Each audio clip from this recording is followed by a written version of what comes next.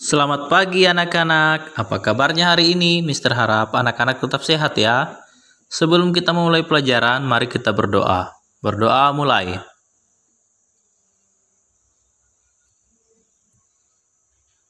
Amin. Kita lanjutkan pembelajaran kita di bab 9 sekaligus menjadi materi terakhir di semester 2 dan berikutnya anak-anak akan fokus untuk belajar dalam menghadapi ujian akhir sekolah di bulan 5. Mari buka di halaman 193.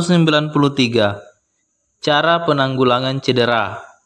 Kamu harus waspada terhadap cedera yang mungkin terjadi. Kamu perlu melakukan pertolongan pertama sebelum bantuan medis datang. Dengan peralatan minimal, pertolongan pertama dapat mencegah cedera lebih parah.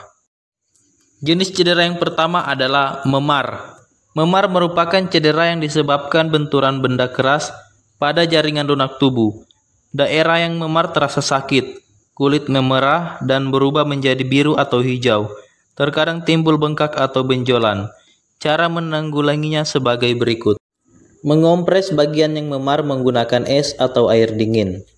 Mengangkat bagian yang memar lebih tinggi dari jantung untuk mengurangi aliran darah di daerah tersebut setelah 24 jam, gantilah kompresnya dengan air hangat untuk membantu penyembuhan luka. Bila memar bertambah parah atau bengkak dengan rasa sakit tak tertahankan, segera bawa ke rumah sakit. Kemudian, jenis cedera yang kedua, kram otot.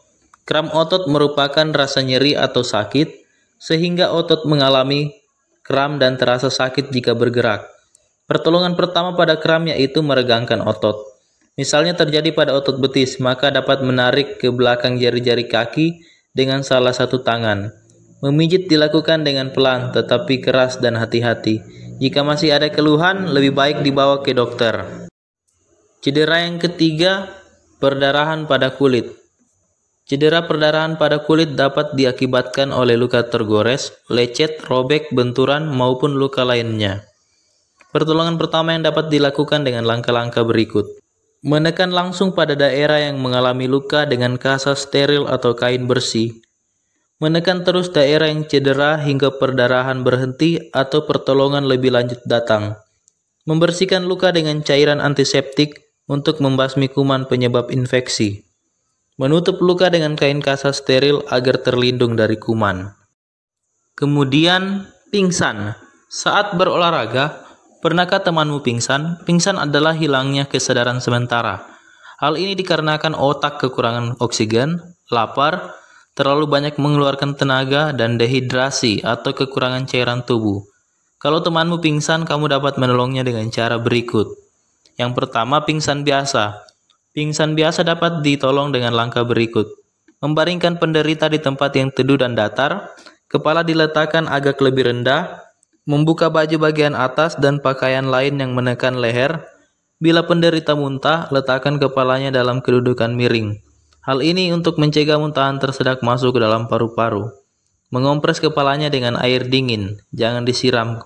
Kalau ada, embuskan uap amoniak di depan lubang hidungnya. Kemudian pingsan karena panas.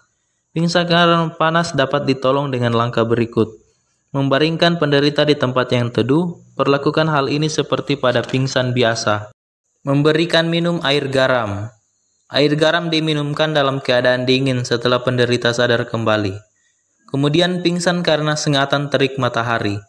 Pingsan karena sengatan terik matahari dapat ditolong dengan mendinginkan tubuh penderita. Caranya dengan membawanya ke tempat yang teduh dan banyak angin. Selanjutnya, mengompres badannya menggunakan air es. Setelah suhu tubuh menurun, hentikan pengompresan. Cedera yang berikut adalah dislokasi. Dislokasi sering terjadi pada daerah bahu dan sendi pinggul karena bergeser dari tempatnya. Akibatnya sendi itu pun menjadi macet dan juga terasa nyeri. Pertolongan dislokasi sebaiknya dilakukan oleh medis.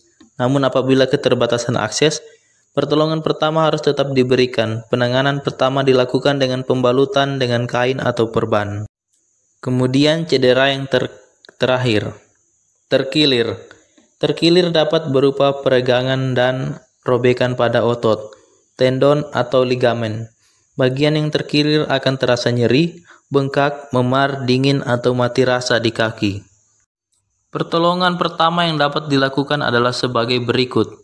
Istirahatkan bagian tubuh yang terkilir, berikan kompres es atau air dingin pada daerah yang terkilir, balut daerah yang terkilir dengan perban elastis atau kain yang tersedia. Hal ini untuk mengurangi pergerakan dan pembengkakan. Istirahatlah dengan posisi daerah yang mengalami cedera lebih tinggi dari jantung. Oke, sampai di sini pembelajaran kita hari ini. Tidak ada tugas ya anak-anak. Dan ini merupakan materi yang terakhir dalam semester 2 ini. Terima kasih telah menonton. Anak-anak tetap belajar ya. Persiapkan diri untuk ujian akhir sekolah di bulan 5. Terima kasih, Tuhan Yesus memberkati.